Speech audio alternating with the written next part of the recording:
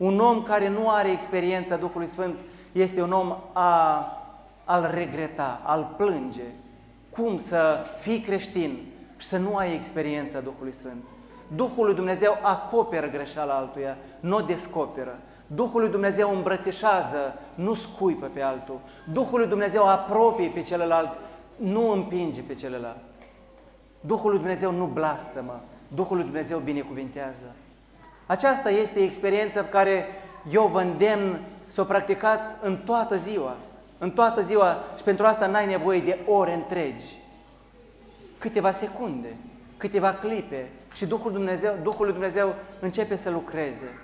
O simplă binecuvântare o dai prin Duhul lui Dumnezeu. Un cuvânt spus cuiva despre Dumnezeu, să face și asta prin Duhul lui Dumnezeu.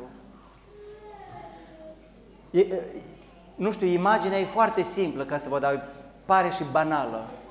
Un om care, care nu are Duh în el, în care nu mai bate inima, este un, un, un om mort. Să știți că așa este și spiritual un creștin, care nu are experiența lucrării Duhului Sfânt. El, deși poartă cruci la gât, dar nu e viu în, în Hristos. Așa, așa sunt, pardon de expresie, dar sunt și biserici așa. Ai venit, ai ascultat și ai plecat. Și nimic nu s-a întâmplat. Înțelegeți? de trebuie atunci când cânți, trebuie să cânți din toată inima pentru Dumnezeu. Atunci când te așezi la rugăciune să te rogi, nu a dormit, nu a dormit, ci să te rogi cu lacrimi pentru familia ta, pentru copiii tăi, pentru duhovnicul tău, pentru profesorii copiilor tăi, pentru patronul tău. Asta înseamnă rugăciune. Rugăciunea poate să miște munții. Rugăciunea poate să coboară cerul pe pământ. Și dumneavoastră care sunteți părinți, mame și tați, aveți atât de mare putere, atât de mare putere în, în cuvintele care le rostiți. Nu stați cu gura închisă, nu, tot, nu dați cu cuvinte, uh, cu cuvinte grele în copiii dumneavoastră. Trebuie să-i binecuvântați, nu să-i osândiți. Trebuie să-i binecuvântați. Lăudați copiii, spuneam alte, alte duminici.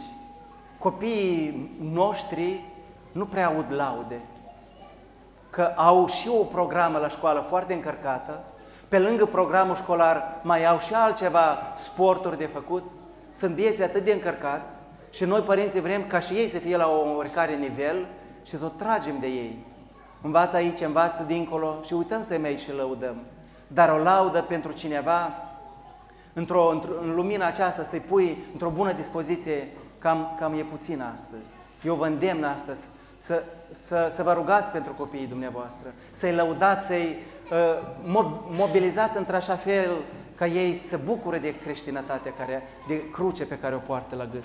Și o altă, o altă uh, facultate a, a celor care sunt purtători de, de Duhul lui Dumnezeu este bucuria.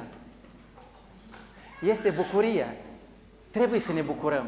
Dar știți care e drama noastră? Noi fără, fără un pahar de alcool, noi nu ne bucurăm. Noi ca să ne bucurăm trebuie să mergem la chefuri. Noi ca să ne bucurăm trebuie să, să avem hore, mici și manele. Asta nu-i după Duhul lui Dumnezeu. Bucuria aceasta nu te duce în împărăția lui Dumnezeu, ci te coboară în mormânt. În mormânt. Bucuria în Duhul Sfânt, mulți dintre creștini încă, încă nu știu ce e asta. Când Dumnezeu să-ți umple, să-ți umple firea ta, plămânii tăi, mintea ta și tu să spui, eu iubesc toată lumea. Eu pot să iubesc pe toată lumea și pe cei care mă blastămă și pe cei care mă înjură și pe cei care mă dau afară din, din casă. Eu iubesc pe toată lumea. Asta este lucrarea Duhului Sfânt.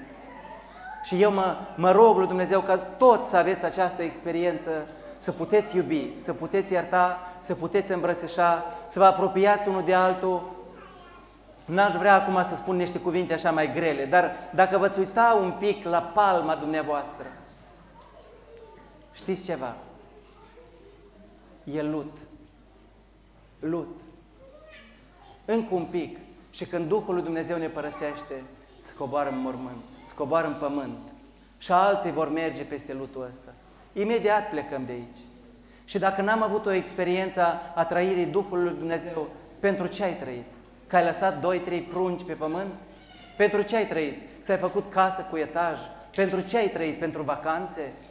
Că imediat te cobori în mormânt. Iată de ce avem nevoie de această bucurie în Duhul Sfânt, această trăire în dragoste.